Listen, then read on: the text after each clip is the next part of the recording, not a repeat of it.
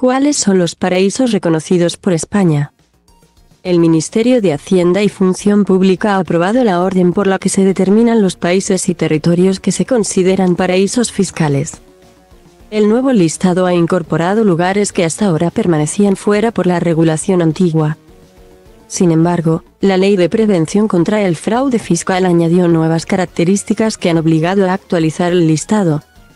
La mayoría de los países y territorios incluidos en la lista de paraísos fiscales son islas o pequeños archipiélagos repartidos por diferentes continentes.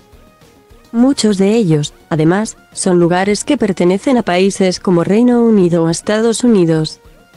El listado de regiones que Hacienda considera jurisdicciones no cooperativas y regímenes fiscales perjudiciales abarca 24 territorios. Entre los territorios, destaca Bahrein, uno de los reinos del Golfo Pérsico y único país árabe presente en la clasificación de Hacienda.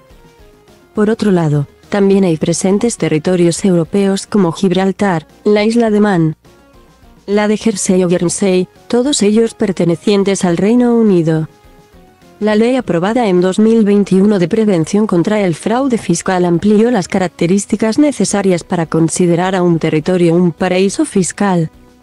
Así, además de la transparencia e intercambio de información, se demanda que también haya equidad fiscal.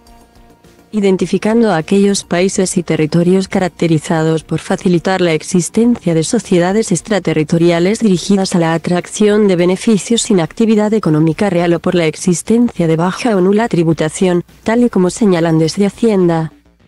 El primer listado de paraísos fiscales se remonta a 1991, cuando contabilizaron 48 territorios. A lo largo de los años se ha ido disminuyendo a medida que se han firmado acuerdos específicos de intercambio de información o convenios para evitar la doble imposición con cláusula de intercambio de información.